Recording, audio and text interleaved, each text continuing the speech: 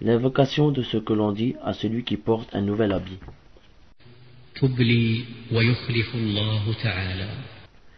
Use ce vêtement et qu'Allah exalté t'en donne davantage. Rapporté par Abu Daoud.